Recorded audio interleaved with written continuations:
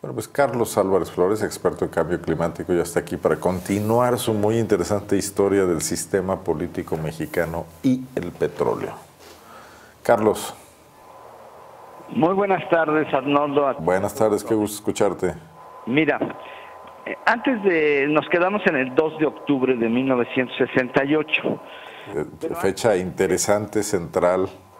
Ese es un punto de quiebre del sistema político mexicano, pero vamos a regresar nada más tantito para decir que don Lázaro Cárdenas del Río fundó en 1936 el Instituto Politécnico Nacional. Sí, correcto. Hacía falta, aparte de la Universidad Autónoma de México, la UNAM, que es una institución muy importante en el desarrollo de nuestro país, hacía falta técnicos, los ingenieros.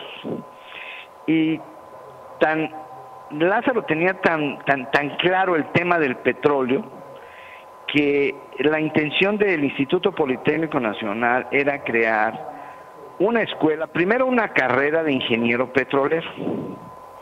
Esa se abrió en 1940 en otra escuela que no es mi escuela. Yo soy egresado de la Escuela Superior de Ingeniería Química e Industrias Extractivas del Politécnico, ¿verdad? Del Poli. Pero entonces en aquellos años, en 40, todavía no se fundaba mi escuela, pero en la Escuela Superior de Ingeniería y Arquitectura, en la ESIA, ahí se abrió la carrera de ingeniero petrolero. Después del 38, en 1940, precisamente para que ahí se prepararan nuestros jóvenes para que fueran a trabajar a, a petróleos mexicanos. Muy bien. ¿Qué hubiera pasado? Mi opinión es esta. Ya en el 48 se fundó mi escuela y formalmente ya existe la Escuela Superior de Ingeniería Química e Industrias Extractivas. Pero, ¿qué hubiera pasado si no Lázaro, cuando menos Ávila, o el propio Miguel Alemán, decir, a ver, vamos a crear un grupo de élite, de alto rendimiento, así como en el deporte hay de alto rendimiento, también acá en la educación, en el sistema educativo, Claro. debemos tener la educación de alto rendimiento, cosa que no existe en nuestro país. Ya hablaremos de la educación, ahorita estoy en el petróleo. Pero entonces, ¿qué, qué hubiera pasado si, si, si Ávila Camacho o, o- o- o Alemán dicen, a ver, vamos a becar a los mejores ingenieros petroleros del Poli, los vamos a mandar a Humboldt, en Berlín, a que estudien en la mejor universidad técnica del mundo, que es Humboldt. Humboldt ha dado, para que sepan nuestros radioescuchas, nada más 22 premios Nobel. Nada más 22. Mejor que otras universidades más caras como las norteamericanas, ¿no? Así es, así es, mejor, mejor, a mi juicio, es la mejor universidad del mundo. Entonces, ¿qué hubiera pasado si ese grupo de élite pecado, con buen dinero, ¿verdad? decirles, mira, tú eres el mejor, ustedes son los mejores, y ustedes van a ganar buen dinero mientras estudian. Van al extranjero, regresan para que sean los líderes de todas las refinerías, de todos los sistemas de producción de Pemex. ¿Y qué hubiera pasado si no hubiéramos hecho 5 o 6, sino 30 refinerías? Hoy exportaríamos gasolina y no estaríamos comprándola al extranjero. Exacto, pero ahí te va. Ahora vámonos un poquito hacia adelante. 1973, el embargo de Irán a Estados Unidos, donde de un día para otro le dice el ayatollah Khomeini, le dice a los gringos, ¿saben qué? Ya no te voy a mandar estos dos y medio, tres millones de barriles de petróleo al día. Entonces, ahí viene un problema enorme porque los norteamericanos no estaban preparados para dejar de recibir de un día para otro esos millones de barriles de petróleo día. Pero aprendieron la lección, Carlos. Bueno, pero fíjate lo que hicieron. Primero, Team Back, a ver, se sentaron y dijeron, bueno, no nos vuelve a pasar eso, no vamos a estar en manos de aquellos allá en el oriente, aunque los árabes son nuestros eh, aliados, no vamos a estar dependiendo de Irak, Irán, eh, en fin, o sea, no nos vuelve a suceder. Entonces, ¿qué vamos a hacer? Oh, le dice Henry Kissinger, ¿te acuerdas de Henry Kissinger? Claro que sí. Bueno. Creo que todavía vive, ¿verdad? Eh, ¿Perdón? Creo que todavía vive. Creo que todavía vive el señor. Para mí es el mejor secretario de Estado que ha tenido los Estados Unidos. Alemán, Exacto, de origen alemán, judío. judío. Pero bueno, el caso es que estaba él ahí y entonces dice, no se preocupen, hombre, estos nuestros vecinos del sur, se refería a Venezuela y a México, tienen petróleo, así es que vamos a ir con ellos a decirles pues que nos vendan su petróleo. Les vamos a ayudar a que saquen más del que están sacando y que nos vendan. O sea, sustituir aquel por México y Venezuela. Entonces viene Kissinger, efectivamente, ya estaba la salida de Echeverría, al que le toca implementar todo fue a José López Portillo. Que fue cuando se descubrieron las famosas reservas, pues no se descubrieron, los gringos ya sabían que estaban ahí. No, los gringos ya sabían que ahí estaba, ¿no? La sonda de Campeche, Cantaré, todo eso ellos ya lo sabían. Entonces vienen y entonces es cuando José López Portillo, recuerdo, que dice, vamos a administrar la abundancia. ahí están las primeras... Prepárense, dijo. ¿Te acuerdas? Dijimos, oye, somos ricos. Igual que cuando Salinas nos dijo que éramos ricos en el 94 y que íbamos a ir al Club de los Ricos, a la OCDE, ¿verdad? Pero bueno, vamos a quedarnos con López Portillo. Casualmente, fíjate nada más, ¿eh? Casualmente José López Portillo tenía un amigo, el ingeniero Jorge Díaz Serrano, petrolero. ¿Y sabes de quién era socio? De George Bush. De George H.W. Bush. Entonces, un petrolero a la cabeza de Pemex por primera vez en México elevó de unos 700 u 800 mil barriles, que era lo que nosotros consumíamos en México para la gasolina y los, petroquímicos que usábamos, que eran pocos, entonces él elevó hasta más de 3 millones, casi 4 millones, me acuerdo, en algún punto, en los 80. Pero ¿qué pasa? Sonaba lógico que si nosotros usábamos 800 mil, pues los otros, el excedente, esos 2 millones y fracción, pues se los regaláramos a los gringos a 6 dólares, ¿no? ¿Eran precios internacionales o se manipuló esto? No, ¿cuál precio internacional? Nosotros fuimos los esquiroles de la OPEP. Acuérdate que la OPEP, promovida por por los árabes con Venezuela, nos invitaron a la OPEP. ¿Y qué crees que dijo México? No, nosotros no vamos a la OPEP, nosotros estamos muy bien aquí con los norteamericanos. Grave error, ese es un problema que nunca México supo manejar, o sea, nosotros nunca fuimos a la OPEP precisamente para estar en el club de los petroleros del mundo y gozar de los precios en una estrategia global de los buenos precios del petróleo. No, nosotros hacíamos nuestros tratos acá abajo con los norteamericanos y nosotros les, les hemos regalado, así digo yo, les hemos regalado el crudo durante 40 años. Ese es el tema. No es como dice Trump, ay, es que está abusando, México abusa de nosotros. No, no, no. Los que nos han quitado más de la mitad del territorio, los que nos han invadido y los que nos han quitado nuestro petróleo han sido los norteamericanos. Ese es el tema, ¿verdad?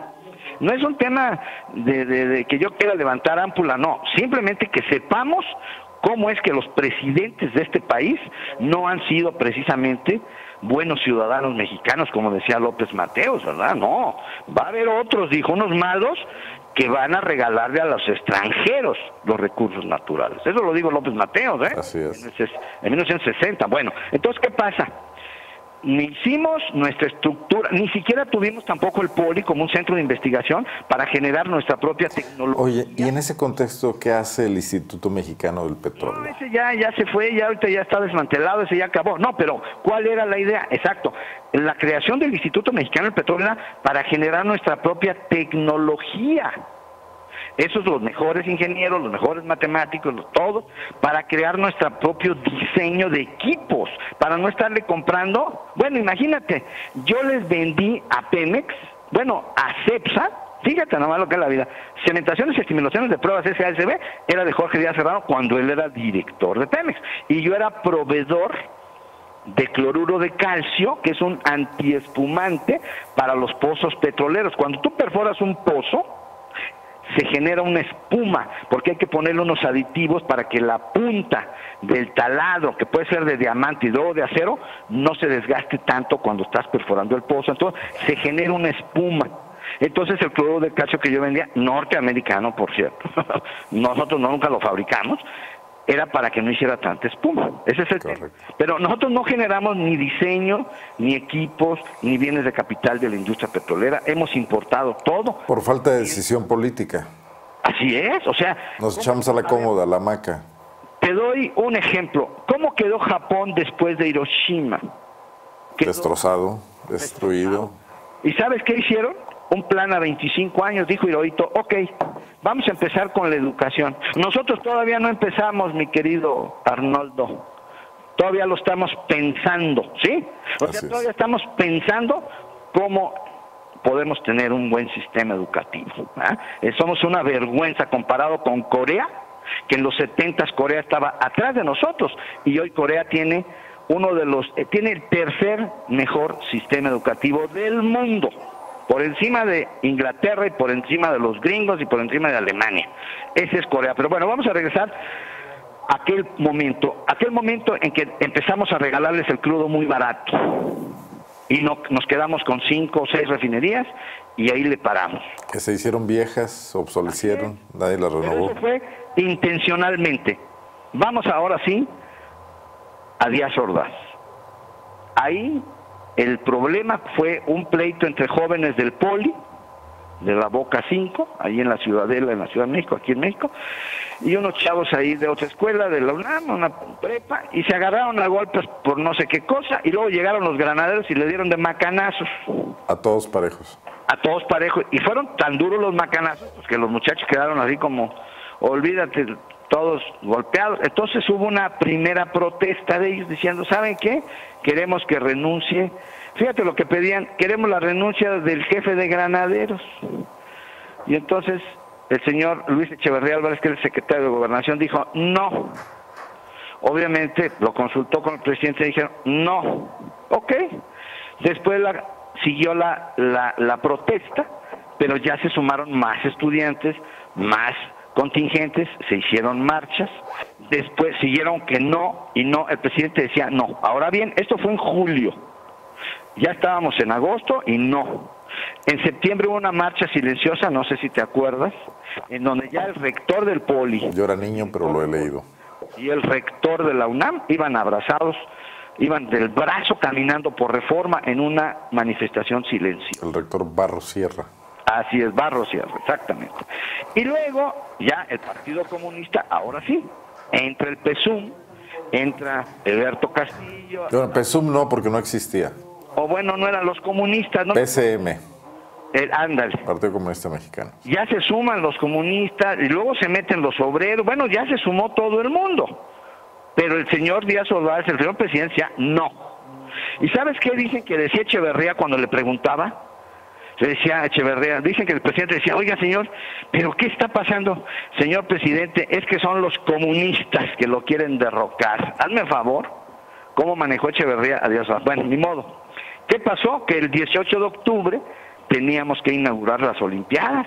México era sede de las Olimpiadas. No sé si te acuerdas, ahí fue cuando nos pusieron que dice que por un año la tenencia de los automóviles para construir la Villa Olímpica. Sí, así es y la dejaron cuarenta y tantos años, la tenencia que es anticonstitucional. Pero bueno, ese es México y estos son nuestros políticos. Entonces, ¿qué pasó? Que no hizo caso, el señor presidente decía no y no y no. Y entonces viene el 2 de octubre en la Ciudadela, ahí en Tlatelolco, y entonces sí mandan al ejército y rodea con cañones y soldados rodean la Plaza de las Tres Culturas. Fíjate que hay una muy buena actualización de toda esta información en uno de los últimos libros de Luis González de Alba. Ah, no, hay que leerlo. Hay que, hay que leerlo. Lo voy, a, conseguir. O sea, es un tema muy importante. Donde hace un análisis muy desapasionado de lo que ocurrió. Bueno, estaba el mitin, por supuesto, y estaba el ejército, pero hay un grupo, el grupo Olimpia. El batallón Olimpia Exacto, que estaba en el edificio Chihuahua, por ahí en un piso arriba, con el guante blanco en la mano izquierda, y ellos empezaron a dispararle al ejército. Ellos, no los muchachos, los muchachos no iban armados, por favor. Entonces, ahí viene el problema cuando un coronel, no recuerdo su nombre, está grabado, ¿eh? hay una grabación de radio donde él le reporta. El general García Barragán. García Barragán, el secretario de la Defensa, y le dice, señor, nos están disparando. Entonces dice, pues contesten. pues contesten, ¿verdad? O sea, no, ¿cómo? Y entonces ahí es cuando inicia aquella matanza, aquella innecesaria matanza de estudiantes y personas que estuvieron ese día. ¿Y cuántos murieron? El gobierno dijo que fueron 286, sí, cómo no, fueron miles. ¿Cuántos? Ni siquiera sabemos la cifra, fíjate, ni siquiera. Ese es el pasaje más oscuro ya ahora sí, en los 60 con la decisión de un presidente todavía poderoso, Gustavo Díaz Ordaz. Ya el día de la inauguración, no sé si te acuerdas, el 2 de octubre del 68 en CEU, le chiflaron por primera vez. ¿eh? No le chiflaban a los presidentes, ¿eh? anterior, al contrario, los querían, eran queridos, eran gente que no aspiraban a robarse nada. Fíjate bien, ¿eh? para cerrar mi comentario debo decir esto ni el propio Lázaro Cárdenas, ¿eh? porque una cosa es Cuauhtémoc Cárdenas, que ese sí se quedó con seis aserraderos en Michoacán, yo soy michoacano, ya hablaremos de Cuauhtémoc, pero ni Lázaro, ni el señor Ávila Camacho, ni siquiera Miguel Alemán. Miguel Alemán sí, poquito, Acapulco y Televisa. que, bueno, él tomó una decisión, después vamos a hablar cómo es posible que le entrega la televisión a don, a don Emilio. Y se hace socio. Azcárraga Vidaurreta, ¿verdad? Y se hace socio de ella, ¿no? Hasta la fecha el hijo. Bueno, por eso ahí le encargó a su hijo también, a Miguel Alemán Velasco. Pero bueno, ahorita lo que voy a decir es, Ruiz Cortines, Adolfo Ruiz Cortines fue el presidente más honesto, austero de toda la historia contemporánea. Sí, creo, sí. Un hombre que no aspiraba a robarse nada. Esa no era su finalidad. Era un honor ser presidente de México en ese momento para estos hombres, ¿verdad? eran otros hombres, no son estos, ¿eh? no se parecen en nada a estos nuevos. Entonces, a lo que voy es a esto. El señor López Mateo le decíamos López Paseos, Adolfo López Paseos porque le gustaba andar viajando, pero tampoco aspiraba más que a una botella de coñac, ¿verdad? En las noches sus borracheras, sus francachelas que hacía, porque le gustaba, ¿verdad? Pero no aspiraban a más. O sea, eran hombres que dejaban la presidencia y se iban a vivir a su casa, no a mansiones, ni, eran millonarios, nada, nada. O sea, eran otros mexicanos diferentes a estos que tenemos ahora, ¿verdad? Esa es la gran diferencia. Entonces, don Gustavo Díaz Ordaz, para cerrar ya mi comentario, al siguiente año, en el informe del primero de septiembre en el Congreso, donde le aplaudían tres horas y media, ese día refirió el tema. Estábamos esperando nada más qué iba a decir el señor del 2 de octubre. ¿Sabes qué dijo? Respecto a los sucesos o eventos, dice, del día 2 de octubre, asumo toda la responsabilidad. O sea, era hombrecito, ¿eh? aunque no nos haya gustado, era hombrecito y dijo, asumo toda la responsabilidad de los hechos del 2 de octubre. Ese es Gustavo Díaz Ordaz. Nada más para que tus miles de radioescuchas sepan que también hay otros que son diferentes a estos que nos gobiernan, que eran honrados y que tenían vergüenza y que eran responsables. Ese es mi comentario el día de hoy, mi querido. Muy bien, Carlos. Muchas gracias por recordarnos este pasaje de la historia de México. Muchas gracias. Buenas Nos vemos aquí dentro de ocho días y continuamos con la historia del petróleo y la clase política, porque viene López Portillo, me imagino. Ah, no, espera, me falta todo. Muy bien. Cosas, pero aquí lo dejamos el día de hoy. Buenas tardes. Carlos, un abrazo y gracias. Hasta luego, buenas tardes. Voy a una pausa.